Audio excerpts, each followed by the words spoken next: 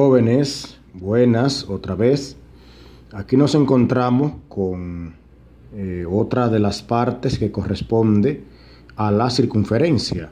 En esta ocasión vamos a localizar la ecuación de la circunferencia en su forma ordinaria y general, con su centro en el origen y con un radio igualado a 2.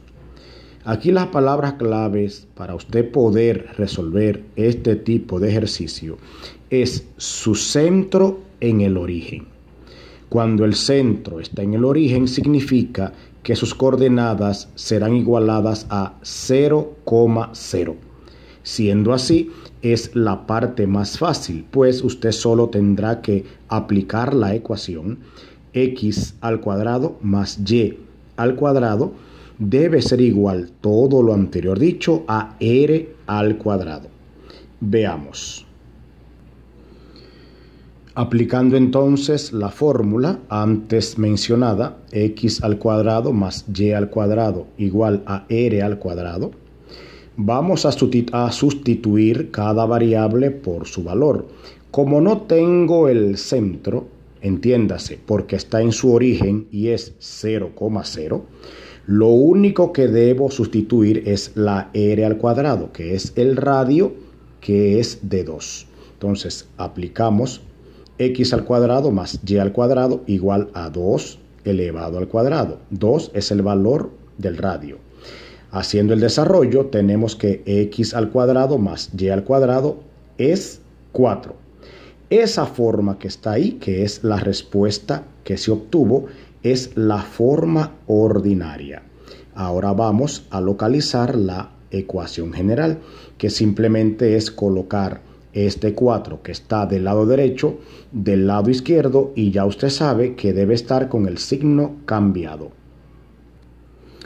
Observemos ahora que para poder obtener la ecuación general, simplemente, simplemente tomamos la forma ordinaria, x al cuadrado más y al cuadrado, menos 4 debe ser igual a 4, que es el original, menos 4. El número que está positivo lo agregué a ambos lados de la igualdad con el signo cambiado. Entonces tenemos como respuesta final x al cuadrado más y al cuadrado menos 4 igual a 0 porque 4 menos 4 es 0. Esa es la forma general.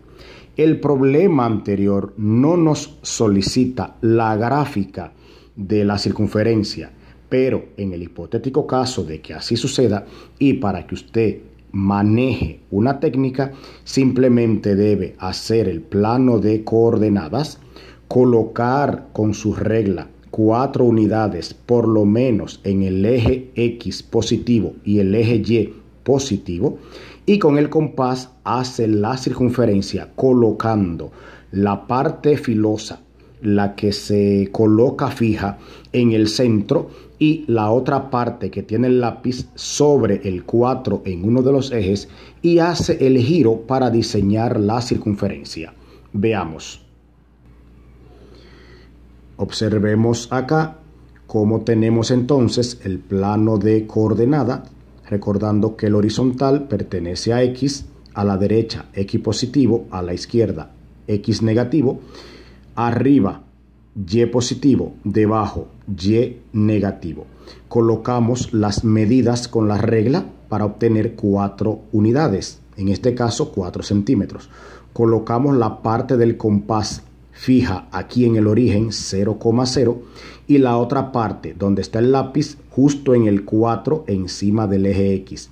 Y eh, procedimos entonces a hacer el diseño de la circunferencia. Lo importante aquí que según la respuesta obtenida de 4, entonces el trazo de la circunferencia debe pasar justo por el 4 que corresponde a cada eje según la medida establecida. Y vemos que el origen centro, que está en el centro, en su origen, está a la misma distancia de cada cuadrante, cada punto que forman la circunferencia. Les recuerdo que las matemáticas se aprenden realizándolas, practicándolas, no hay por qué tenerles miedo. Manos a la obra, es hora de seguir avanzando. Un placer, espero que les haya gustado este nuevo video.